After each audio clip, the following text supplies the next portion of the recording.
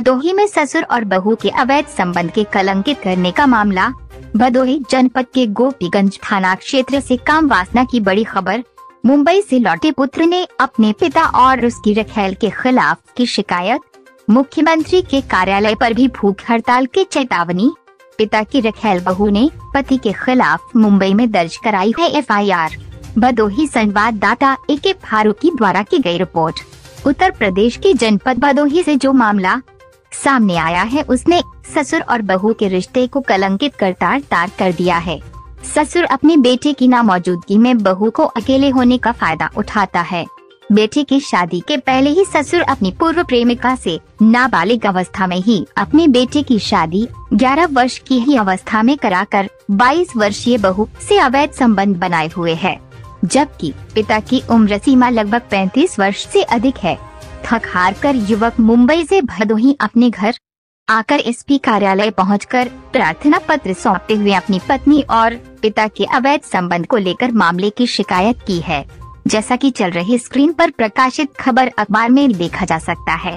फ़िलहाल भुक्त भोगी पुत्र ने बताया है कि वे मुंबई में ही रहता है और मेरी पत्नी और पिता आपस में पति पत्नी की तरह से ही रहते हैं। और मेरे पिताजी मेरी पत्नी की कई बार गर्भपात भी करा चुके हैं। वही शिकायती पत्र में पुत्र ने फरियाद लगाते हुए कहा है कि मैंने वर्ष उन्नीस सौ छियानवे में शादी कर ली है और मेरे दो बच्चे भी हैं। लेकिन फिर भी मेरे पिता अपनी रखेल को ज़बरदस्ती मेरी पत्नी बनाना चाहते हैं। पीड़ित ने एसपी को शिकायती पत्र देकर मामले की जाँच कराकर न्यायोचित कार्यवाही की मांग की है। अब देखते हैं कि इस मामले में प्रशासन कैसे दूध का, दूध और पानी का पानी करता है। और थाना गोपीगंज होता है और हमारा तहसील ज्ञानपुर है। सर, मैं अभी इस समय उत्तर प्रदेश में हूँ, गोपीगंज थाने के पास में। मैं परमानेंटली मुंबई रहता हूँ और यहाँ मेरा गाँव में आना ना के बराबर होता है, पिछले 35-40 सालों से। मैं मेरे गाँव के घर में नहीं गया हूँ, लेकिन 2020 के अंत में मुझे मालूम पड़ा कि मेरे पिताजी ने एक अनीता देवी दुबे, जो कि नौहा बिहारी मिर्ज़ापुर ज़िले की है, वो उसने शिकायत किया कि वो मेरे पाँच बच्चों की माँ बनी थी और मैंने उसका गर्भपात करवा दिया था। हकीकत ये है कि मैं पिछले 35 और 40 सालों से के आसपास हो गया मैं उस घर में गया भी नहीं हूँ। कि पिछले सात आठ सालों में ये गर्भपात कैसे हो रहा है इस ये जो गर्भपात हुआ इसका बाप में, में जो है मेरा बाप उसका बाप है वो गर्भपात जो कराया है। और मेरे ऊपर शिकायत की जा रही है।